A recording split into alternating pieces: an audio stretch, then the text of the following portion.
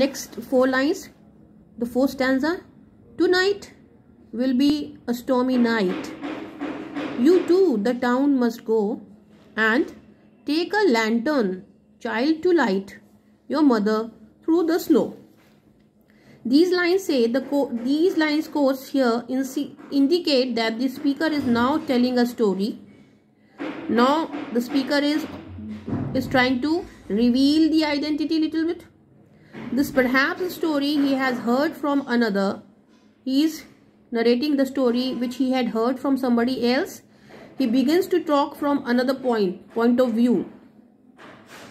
Okay the person apparently sent the child out in the snow with a lantern to find her mother. So this speaker is saying of the poem is saying that the child is out and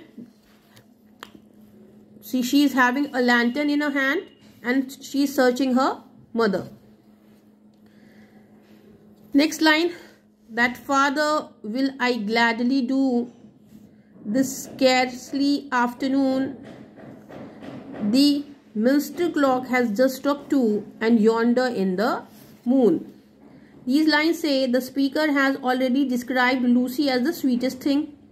In the, in the lines above, we have seen that Lucy has been described as a very sweet thing. So it does not come as a surprise now that she uh, should respond that father will I gladly do. Can I will do this?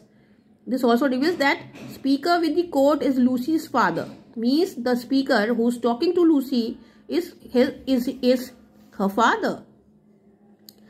Mean to say the these lines where we are curious to know whether she is alone, she is out of the society. Now we are uh, gradually learning that the speaker is her father. Father sent her daughter out to uh, send his daughter out at 2 o'clock in the afternoon Scarcely. Minster Clock, Mr. Mist is 2 p.m. of 2 p.m. in the afternoon. He asks her to take a lantern to her mother. Lucy gladly goes and with all happiness she goes out to find her mother.